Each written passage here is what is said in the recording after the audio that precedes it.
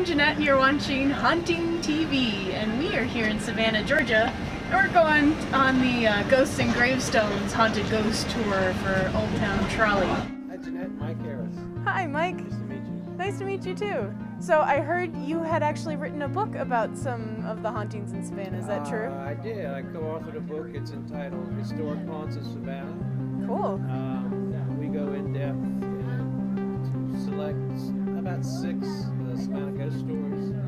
Um, we give the, we recreate the actual events, put flashback on the people. Uh, a lot of the Savannah ghost stories are rooted in historical events. Now, folks, if you will look to your left, you can just see that last bit of the Savannah River before this building gets in the way. Now, that is the most notorious serial killer in Savannah, folks. He takes two souls a year, usually on St. Patrick's Day. They hear the constables come and the pirates panic. They wedge them behind a brick wall down in that basement and they run down the tunnel. Two years later, when the constable comes back, he leads people down into that basement and they finally find the remains of that second young man. and the claw marks where he had tried so hard to free himself. Sorry, I may like that part of the story a little too much. In the house where the Gordons they would have entertained their guests. Behind me is the family parlor, much less formal but considerably more cozy. And these two rooms they can be opened up like they are now to support large family gatherings. One of which took place in the late 1980s. It was a wedding, the last family wedding held in the home. It was a very intimate affair. Only a few select guests were invited, one of which was the curator of this museum at the time. Now, after the nuptials were complete, a guest, he walks over to the curator. He says, you know, you've got an extra guest here. The curator replies, well, this is a family wedding. I'm sure they can invite whoever they like. The guest says, no, that's not what I mean. That's a ghost over there on the couch.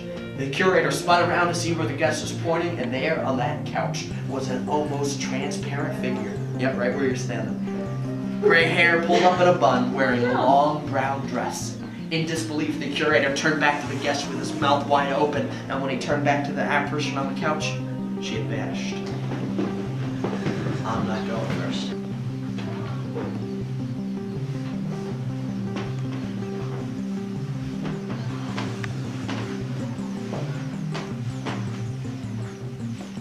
Okay, y'all. Now this is also where Nellie would maintain the entire household. From that little desk over there in the corner, she would use the most modern implements of her day to keep everything running smoothly. Today the home has a lot more modern equipment like computers and cash registers to keep everything on track. Just because the technology has advanced doesn't mean everything works like it should. In fact, it seems as if someone is tampering with the equipment in this home. These hijinks include turning on or off the computers, scrolling on the adding machines, tripping the security alarm, pushing out the cash register drawers, and much, much more. Now, many people, they think it's Nellie, still trying to run the house. But the staff of the museum, they think it might be someone else. Inform you that you have incurred your complimentary curse. Considered very bad luck in, in the South to enter a home through one door and exit through another.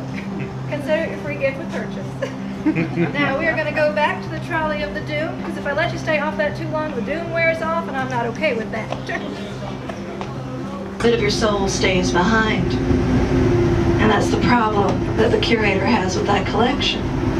He'll go into that room every morning, go straight to that case, because those pieces will have fallen over. They will have rearranged themselves. They will have jumped shelves. And the ones going down a shelf I don't mind. The ones that go up a shelf, they worry me just a bit. This is a cast iron Victorian coffin made for a burial at sea. Now who do you think would fit in here? That is true. This was a one-size-fits-all.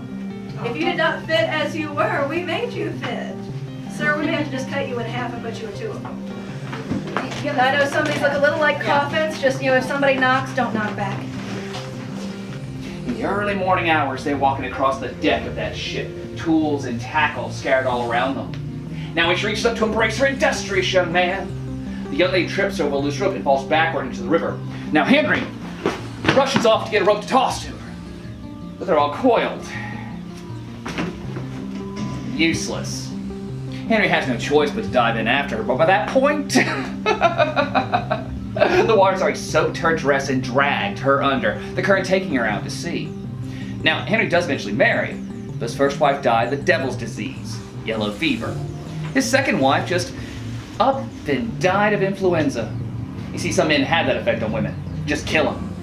I don't know where you all came from, but you can find your own way out.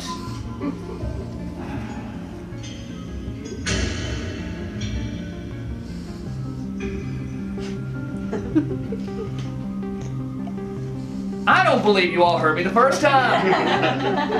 I said you people can go! Now, I do have one last bit of Savannah wisdom to leave you folks with. May you sleep like the dead, but not amongst them just yet. Good night, everybody!